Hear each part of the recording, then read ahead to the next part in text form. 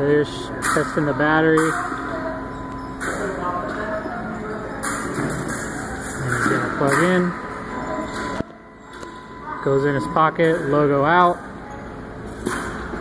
Andrew's gonna do the same.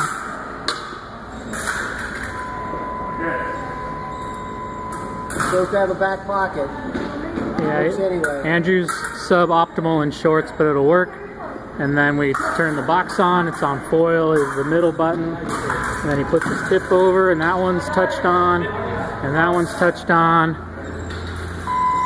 And then they tested, and that was it.